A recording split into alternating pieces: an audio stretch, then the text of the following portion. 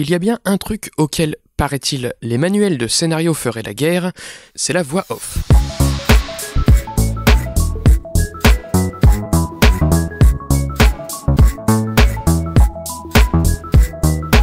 Salut et bienvenue dans ce 79e et avant-dernier numéro de Comment c'est raconté, le podcast qui déconstruit les scénarios un dimanche sur quatre.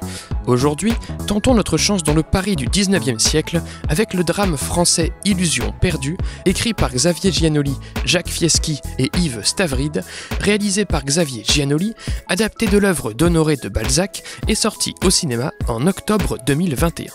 Le succès critique et commercial de ce film tapissé de voix off nous permettra peut-être de répondre à la question. Au fond, c'est quoi une bonne voix off? Lucien est un jeune poète inconnu dans la France du 19e siècle. Il quitte l'imprimerie familiale de sa province natale pour tenter sa chance à Paris au bras de sa protectrice Louise de Bargeton. Bientôt livré à lui-même dans la ville fabuleuse, le jeune homme va découvrir les coulisses d'un monde voué à la loi du profit et des faux semblants, où tout s'achète et tout se vend, la littérature comme la presse, la politique comme les sentiments, les réputations comme les âmes. Lucien survivra-t-il à ses illusions Extrait de la bande-annonce. J'ai besoin de travailler, monsieur. Je respecte énormément le métier de journaliste. Et tu crois que c'est quoi mon métier? Vous éclairez les gens sur euh, l'art, le monde. Mon métier, c'est d'enrichir les actionnaires du journal.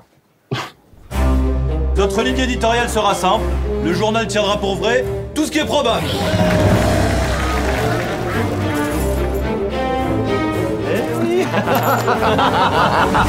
Alors oui, vous avez bien entendu en intro, l'épisode du jour est l'avant-dernier de Comment c'est raconté, et comme le 80e et dernier me demandera un peu plus de taf de préparation, il ne paraîtra pas dans 4 semaines au rythme habituel, mais plus tard en 2022, probablement à la fin de l'été, voire même à l'automne. Restez donc abonnés pour ne pas le manquer. Voilà, et pour ne briser aucune illusion concernant le film analysé aujourd'hui, je préfère vous prévenir, attention, spoiler. Dans un numéro à paraître de mon autre podcast et le scénario, j'ai demandé à des critiques cinéma leur point de vue sur les manuels et méthodes d'écriture de scénario. Bien vite, évidemment, l'épineux sujet de la voix off est arrivé sur la table. En effet, la défiance de la voix off, Spike Jones et Charlie Kaufman s'en moquaient, et de façon assez méta si je ne m'abuse, dans le film Adaptation, où le théoricien le plus célèbre de la dramaturgie, Robert McKee, joue son propre rôle à asséner qu'il ne faudrait surtout pas employer la voix off dans un scénario, mais s'avère tourné en dérision par la voix off du film. Comment en est-on arrivé là? Et comment, en 2022, des films aussi populaires que Batman ou Illusion perdue ont-ils pu gagner le cœur du public et des critiques malgré leur copieux recours à la voix off, réputée donc à risque chez les scénaristes? Eh bien, penchons-nous là-dessus, démêlons tout ça. Déjà, qu'est-ce qu'une voix off? Il s'agit d'une voix qui n'est pas prononcée par un personnage, mais superposée à la scène. Car si les répliques off sont prononcées dans l'action par un personnage, il sera plutôt question de hors-champ que de voix off, notion traitée à part précédemment dans le podcast en analysant le film The Guilty. Une voix off peut essentiellement être de deux natures, telles que définies par Michel Chillon dans son livre Écriture de scénario, hétéro-diégétique ou homo-diégétique. Une voix off hétérodiégétique, c'est quand le locuteur n'est pas partie prenante de l'histoire. Bref, quand il s'agit d'un narrateur extérieur à la diégèse, à l'action, comme dans la plupart des documentaires ou comme dans le film Barry Lyndon par exemple. Une voix off par contre homo-diégétique, elle, c'est quand le locuteur est partie prenante de l'histoire. Bref, quand il s'agit d'un personnage. C'est le cas du film Illusion perdue, commenté en voix off par le personnage Nathan d'Anastasio, incarné par l'acteur Xavier Dolan. Après, une voix off ne se caractérise pas que par son rapport à la diégèse. Elle présente aussi, par nature, une certaine perspective beaucoup de voix off adoptent une perspective dite interne. Non seulement elles proviennent d'un personnage propre à l'histoire, elles véhiculent en particulier ses pensées, ses états d'âme, ses réflexions et en temps réel. C'est le cas par exemple de films comme Memento, Watchmen ou Apocalypse Now. Il est alors question le plus souvent de la voix off du ou de la protagoniste. D'autres voix off adoptent une perspective dite externe. L'action est alors commentée ou rapportée à froid, objectivement, et pas forcément par le protagoniste. On en trouve dans Usual Suspect par exemple, ou dans beaucoup de films avec Morgan Freeman. Ce pourrait être le cas par exemple du film Illusion perdue, puisque l'histoire de Lucien, le protagoniste incarné par Benjamin Voisin, est rapportée extérieurement en voix off par le personnage secondaire Nathan. Sauf que dans Illusion perdue, on est encore un cran plus loin, je dirais. La voix off de Nathan procède, à mon sens, d'une troisième typologie de perspective, omnisciente. Non seulement la voix off bénéficie ici d'un certain recul, elle connaît même le futur du personnage, ou ce qui se passe au même moment ailleurs, ou ce qui s'est passé il y a longtemps, etc. Dans Illusion perdue, Nathan nous présente ainsi en voix off, par exemple, le fonctionnement de la vie aristocrate parisienne, le pouvoir et la réputation des personnages que Lucien rencontre, les enjeux politiques en cours entre la royauté et les libéraux, etc. Tout cela dépasse la seule action qui se déroule en direct sous nos yeux. Cette omniscience d'un personnage pourtant partie prenante de l'histoire est permise par un autre aspect de la voix off, son ancrage temporel. C'est à la fin d'Illusion perdue que le romancier Nathan commence à écrire l'histoire de Lucien, cette histoire qu'il nous raconte en voix off rétrospectivement depuis le début du film. Ainsi, le film est une sorte de flashback géant que Nathan a déjà documenté, ce qui lui permet de nous prévenir de péripéties qui ne sont même pas encore arrivées. Quand par exemple Lucien rencontre pour la première fois la marquise d'Espard, incarnée par Jeanne Balibar, Nathan anticipe en voix off qu'elle, je cite, jouera un rôle essentiel dans le drame de la vie de Lucien. La perspective omnisciente de Nathan lui permet donc non seulement d'avoir une vision globale du contexte, mais même une prévision de ce qui va arriver. Je vous rapporte à l'épisode de CCR consacré au film Les Misérables pour approfondir cette notion de perspective dans les scénarios. Voilà pour les généralités, alors, que reproche-t-on à la voix off en dramaturgie? Pourquoi lui fait-on la guerre? Dans une interview pour la chaîne YouTube Storytank, le scénariste et monteur Mathieu Taponnier résume assez bien la chose, je trouve. La dramaturgie étant héritée de l'art théâtral, on a cette tradition d'une action qui se déroule en direct sous nos yeux. De là découle une théorie bien connue du show don't tell. Ce serait au spectateur de commenter l'action dans sa tête, pas au personnage de le faire à sa place en direct oralement. Il s'agirait donc pour les auteurs de montrer au lieu de raconter, show don't tell, on en parle souvent dans CCR. Mais à côté de ça, bon bah, le cinéma permet techniquement la voix off. On peut choisir de ne pas l'utiliser, de la disqualifier par sorte de purisme dramaturgique, mais elle est là, à disposition on peut raconter et commenter avec une voix qui se superpose à l'action. Jetons d'abord un œil à toutes ces façons déconseillées qu'il y a d'employer la voix off au cinéma. Employer une voix off pour déverser une grande quantité d'exposition, une grande quantité d'informations nécessaires ou pas à la compréhension de l'histoire, eh bien à la longue, ça peut être un peu indigeste pour le spectateur. Deuxièmement, rapporter en voix off ce que le spectateur constate déjà à l'image, sous ses yeux, en n'apportant rien de significatif, risque de sacrifier l'intérêt de l'image de l'action. Troisièmement, expliquer via la voix off au spectateur ce qu'il est censé interpréter par lui-même, c'est donc lui couper sa participation à l'histoire, c'est l'infantiliser, le frustrer. On revient donc à cette règle du show don't tell. Quatrièmement, s'étaler pendant des plombes sur les états d'âme démonstratifs du protagoniste via son monologue intérieur en voix off peut accabler le spectateur avec une surintellectualisation lourde et laborieuse de l'action. Qui suis-je? Où vais-je? Qu'est-ce que le monde? Etc. Et puis, tout simplement, cinquièmement, une voix off peut s'avérer fade, banale, simple témoin d'un manque d'imagination, comme toutes ces comédies qui s'ouvrent sur le fameux Ça, c'est moi du protagoniste qui se présente alors au spectateur en voix off. Ça, c'est moi, je m'appelle machin, j'ai tels amis, on va vivre telle aventure ensemble, etc. Finalement, si certains manuels de scénario mettent en garde contre le recours à la voix off, c'est surtout parce qu'il est si facile d'en faire n'importe quoi. Il s'agit d'un outil de narration autonome qui pourrait totalement se passer de l'image et de l'action. On se résigne parfois d'ailleurs, lors de nos premiers projets amateurs, en post-prod, quand on a tout essayé pour faire fonctionner le récit, à ajouter une voix off jusqu'ici imprévue afin de clarifier tout ce qu'on n'a pas réussi à rendre clair à travers l'action, de faire marcher ce qui ne marchait pas, comme une sorte de cache-misère. Ainsi, Employer une voix off sans réflexion préalable sur son usage, sur sa place dans la narration globale, fait courir le risque de lui donner encore plus mauvaise réputation, de donner raison aux puristes de la dramaturgie qui la combattent. Alors, qu'en est-il concernant Illusion perdue? Le film évite-t-il justement tous ces écueils? Eh bien pas tous. De l'exposition foisonnante, on en a, avec tous ces passages où Nathan décrit le Paris de l'époque, nous fournissant alors moultes informations, pas forcément nécessaires à la compréhension de l'histoire, sur le fait par exemple qu'en sortie de diverses guerres, les jeunes comme Lucien en France gagnent les capitales en quête de richesse pour se forger un destin loin des champs de bataille, bla bla bla bla. Cela dit, on s'instruit volontiers au passage, c'est l'avantage des récits d'époque. On trouve également une voix off redondante. Quand Nathan présente les combines du puissant Singali, incarné par le regretté Jean-François Stévenin, capable de provoquer sur commande une huée ou une ovation à l'issue d'un spectacle, et qu'en même temps on le voit faire sous nos yeux. Pourquoi expliquer ces techniques puisqu'on le voit justement les employer la voix off de Nathan transgresse également la règle du show don't tell, par exemple à la suite de la première scène de débauche de Lucien, où ce dernier écrit sa première critique opportune de mauvaise foi dans l'exclusif but de séduire l'actrice Coralie qu'il rencontre, interprétée par Salomé Devels. Dans cette scène, Nathan commente en voix off Ce soir-là, peut-être Lucien en avait-il déjà trop vu, trop bu, trop entendu. Cette remarque, théoriquement, ce serait plutôt à nous, spectateurs, de nous la faire. Ce serait à nous d'identifier ce premier point de non-retour que passe le protagoniste Lucien. Ce serait à nous de pressentir qu'il emprunte le chemin de la perversion. Donc des risques vis-à-vis de la voix off, illusion perdue en prend. Ça, c'est certain. Mais ces risques lui sont-ils préjudiciables?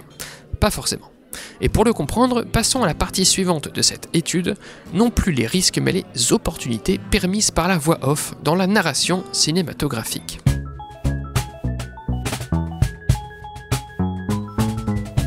Read people that you like um, and try to figure out why you like them. And when you see something or read something you don't like, try to figure out why you don't like that. Be a diagnostician.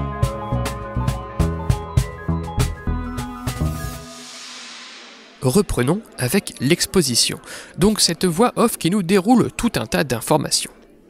Dans le livre d'entretien The Craft of the Screenwriter, le scénariste Paddy Chayefsky explique ne pas aimer recourir à un narrateur, sauf si cela lui permet de condenser 20 pages en 5 lignes.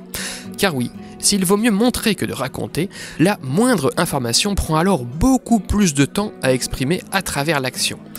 Mais si vous souhaitez communiquer une grande quantité d'informations au spectateur, un petit paquet de voix off peut s'avérer assez pratique.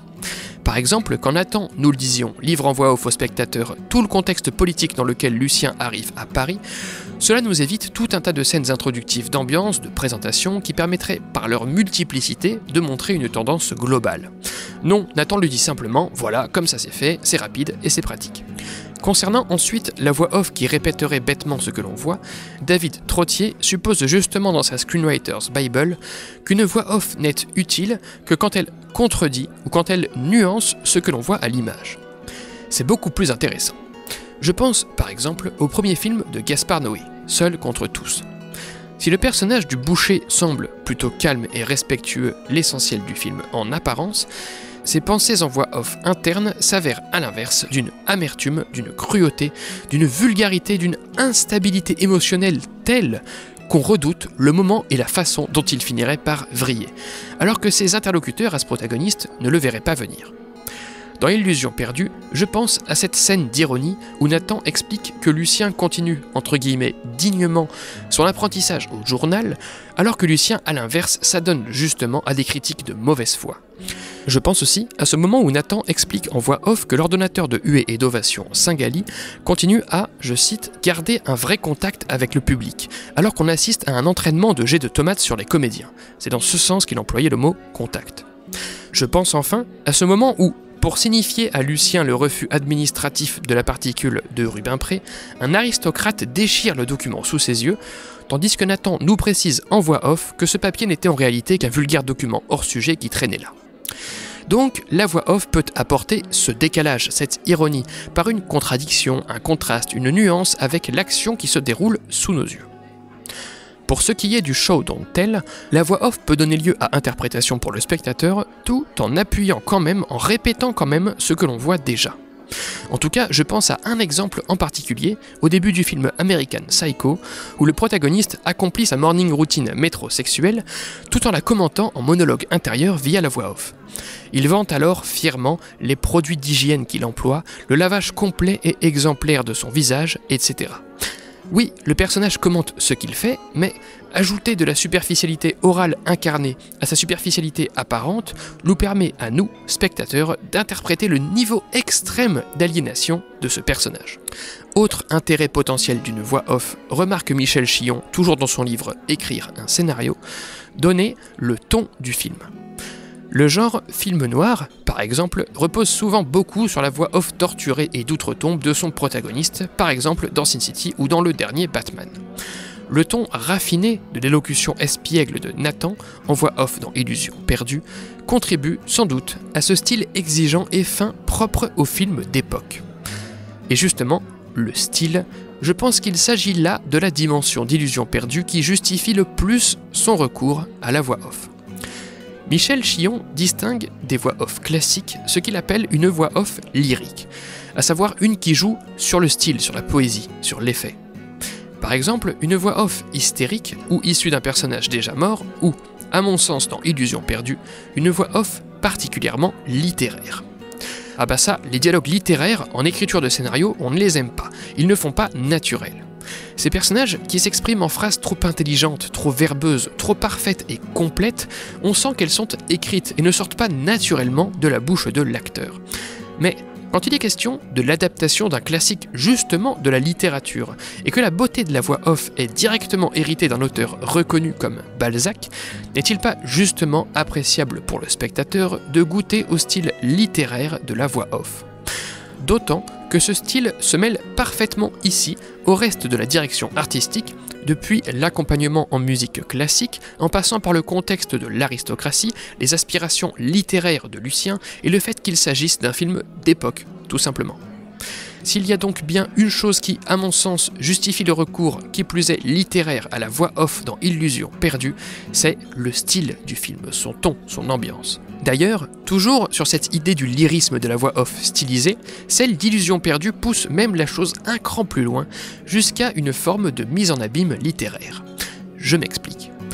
Je n'ai pas lu l'œuvre originale, mais dans le film réalisé par Giannoli, autant c'est le personnage secondaire Nathan qui s'exprime, autant, nous le disions, il dispose d'une perspective omnisciente, et ce, pas seulement parce qu'il compte l'histoire depuis la fin, comme nous le disions.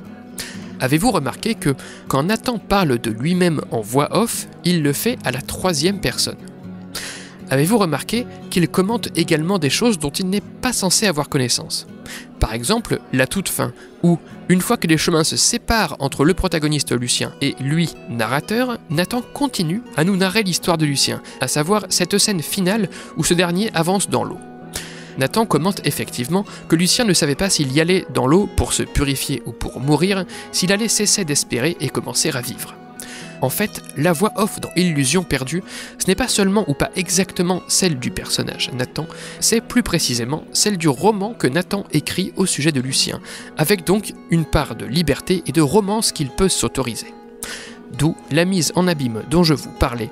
Illusion perdue est un film adapté d'un roman de Balzac sur un roman de Nathan au sujet d'un poète, Lucien. La voix off littéraire du film est alors d'autant plus justifiée par tout ce feuilletage de littérature à tous les étages. Pour revenir à un cas de figure beaucoup plus pratique, basique et fonctionnel, toujours sur les opportunités de la voix off, elle épargne parfois simplement au spectateur la lecture de texte à l'image qui ne serait pas très cinématographique. Par exemple, dans Illusion perdue, la voix off de Lucien ou de sa sœur Eve remplace celle de Nathan, tout simplement parce qu'on les entend lire ou rédiger une lettre. On est dans une forme de dialogue indirect. Et puis enfin, pour revenir à l'intervention du scénariste Mathieu Taponnier évoquée plus tôt, la voix off, c'est aussi l'art originel du conteur. Cette passion qu'on a tous, nous les humains, à captiver avec des mots. Cet art ancestral de la narration orale peut s'ajouter à l'art de l'action des personnages, à l'art de la dramaturgie.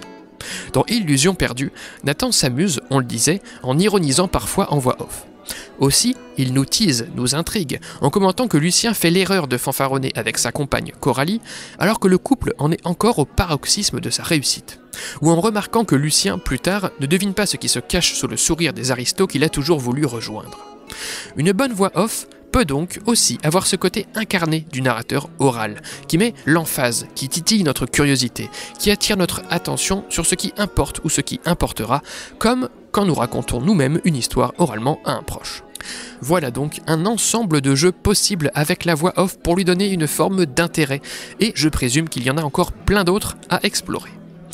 Après la nature, après les risques et après les opportunités de la voix off au cinéma, j'aimerais aborder avec vous un dernier point, la dynamique de la voix off. Comment évolue-t-elle au fil du récit? Déjà, le locuteur peut varier. On vient de le dire, avec la voix off de Nathan entrecoupée des lectures de lettres d'autres personnages. On peut aussi tout simplement avoir plusieurs personnages qui se partagent plus ou moins équitablement la voix off d'un film, successivement ou à tour de rôle, comme dans les films Marie et Max ou Les Affranchis. Ensuite, qu'elle varie ou non de locuteur, la voix off est introduite d'une certaine façon et à un certain moment.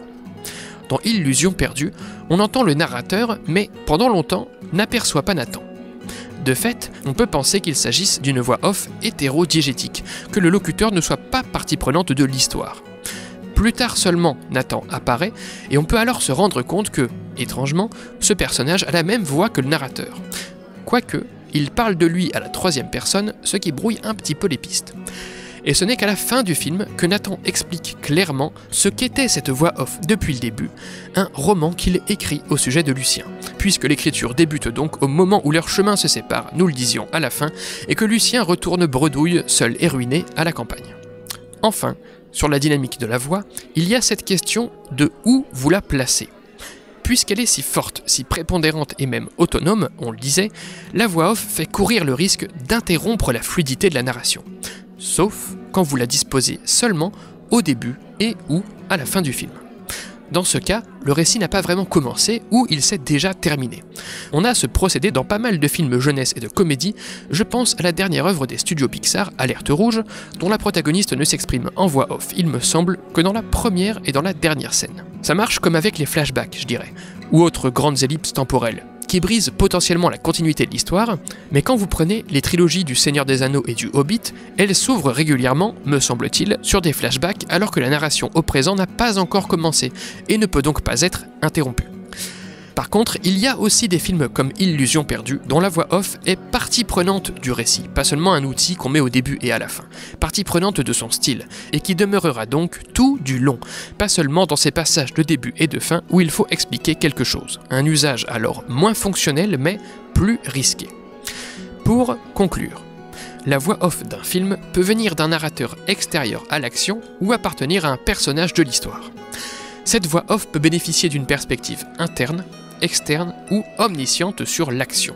Forte de son caractère autonome, la voix off au cinéma risque de submerger le spectateur d'informations, de rapporter ce qu'il voit déjà, d'expliquer ce qu'il est censé interpréter, d'intellectualiser à outrance ou encore de manquer simplement d'intérêt.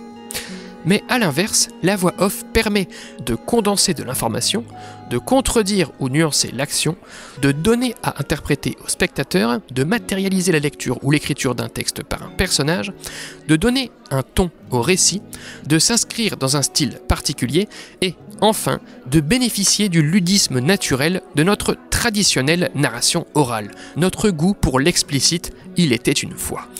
Pour finir, la voix off s'inscrit dans une certaine dynamique, suivant le nombre de narrateurs parallèles, suivant sa répartition sur l'ensemble du film, et suivant le rythme auquel le scénariste en dévoile la nature réelle, la perspective réelle.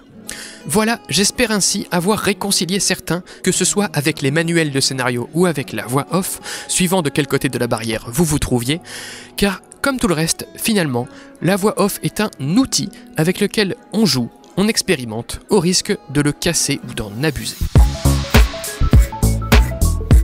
Fondu au noir pour ce 79e numéro de Comment c'est raconté. Merci pour votre écoute, j'espère qu'il vous a intéressé. Retrouvez toutes les sources de cet épisode et tous les liens du podcast dans la description et sur ccrpodcast.fr, dont Facebook, Instagram, SoundCloud, Spotify, tout ça, mais encore et surtout Apple Podcast. Pour ce dernier, je vous invite à laisser 5 étoiles et un commentaire, c'est très important pour le référencement du podcast. Podcast dont l'habillage musical était signé Rémi Le Sueur, je le rappelle, et le Nona Epta Conta remercie.